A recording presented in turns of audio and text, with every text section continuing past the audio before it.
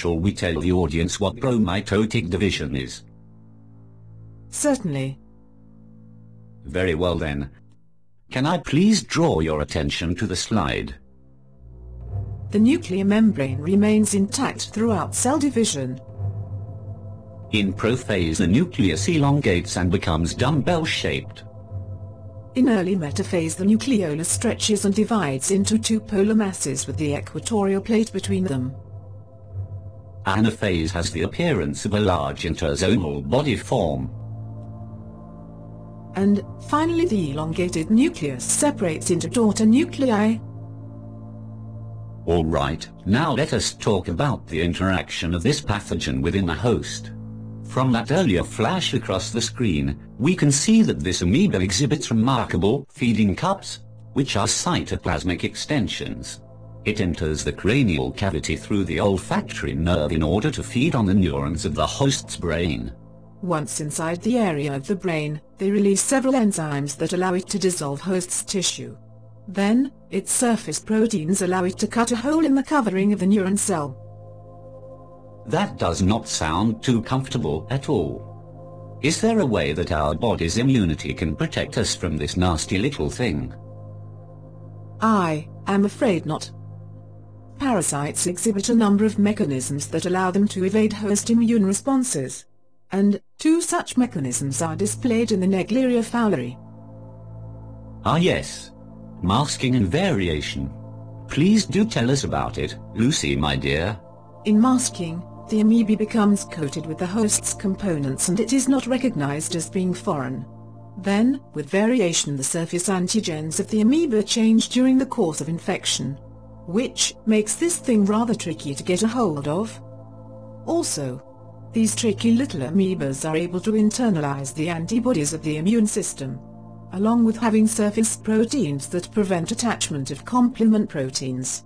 The amoeba collects the proteins into one area with its membrane.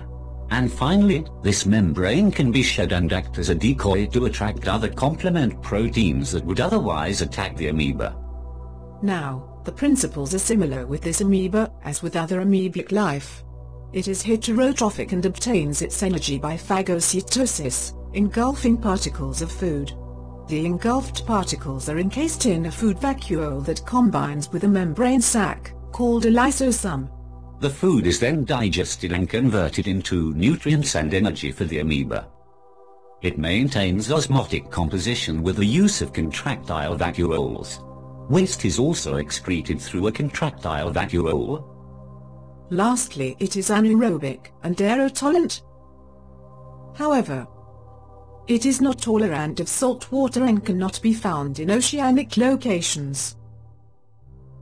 It is estimated that in Florida, there are more than 100 million exposures to the parasite for every case of primary amoebic meningoencephalitis. Most adults in the United States appear to have been exposed to the parasite as evidenced by the presence of antibodies against this pathogen. The factors that lead to infection in a tiny minority of exposed individuals are still unknown. In working on the Naegleria project, our team stumbled across some old footage from the early 60s of the National Department of Being Safe. It is a message about the Naegleria fowleri and water safety. Therefore, we thought it prudent to air this as part of our report. Please, listen, closely.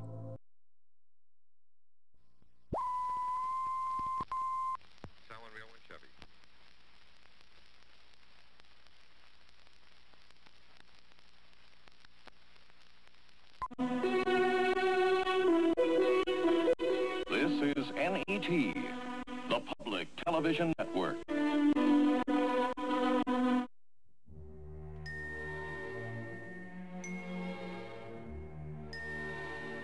What do you mean on? Is the film rolling? Hello boys and girls. My name is Dr. Eater Offen. Today we are here to discuss the Naegleria fowleri, also known as the brain-eating amoeba. This amoeba is commonly found in bodies of warm fresh water, such as lakes and rivers. In humans, Naegleria fowleri invades the central nervous system via the nose. Specifically, through the olfactory mucosa of the nasal tissues. The penetration initially results in significant necrosis of and hemorrhaging of the olfactory bulbs. From there, amoebae climb along nerve fibers through the floor of the cranium, via the cribriform plate and into the brain cavity. Once in the brain, it then becomes pathogenic, causing primary amoebic meningoencephalitis. The amoeba grows best in warm or hot water. Most commonly they may be found in bodies of warm fresh water, such as lakes or rivers, geothermal sources, such as hot springs, warm water discharge from industry, and poorly maintained and minimally chlorinated or non-chlorinated swimming pools and soil. Not found in saltwater locations.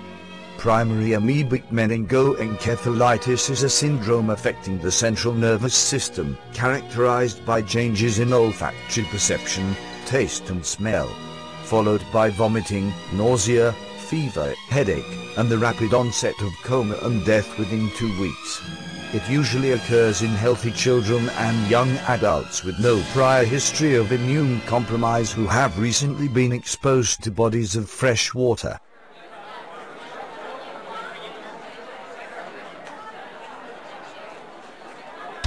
What was that all about? Would someone please run the bloody archive reel from the Center for Disease Control?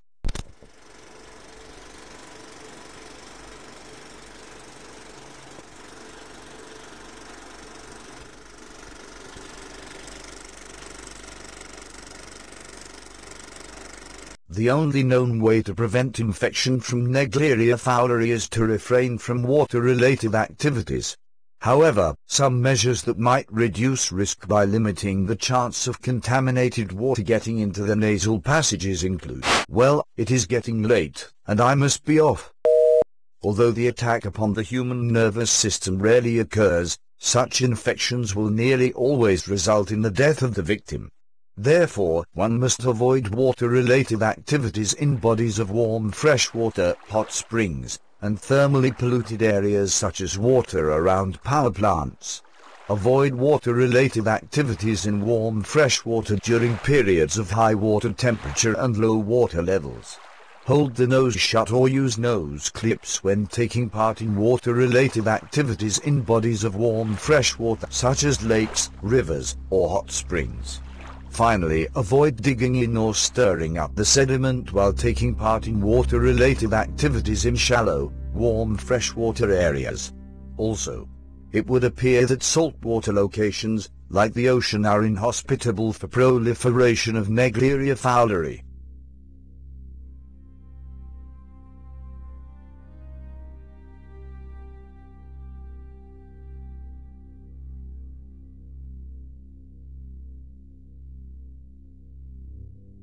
This has been a public message from the National Department of Being Safe.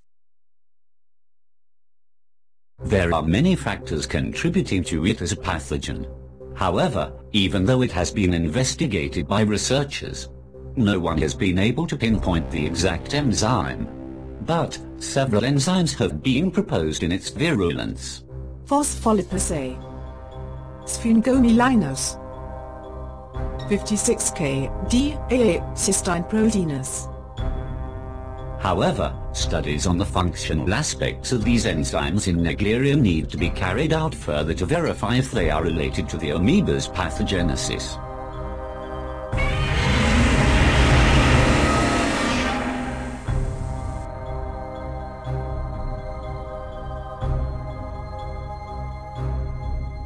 On behalf of Mr. Daniel Ferrante and us at Mongo Simpleton Tech, we would like to thank you for watching this presentation on the Naegleria fowleri, the brain-eating amoeba.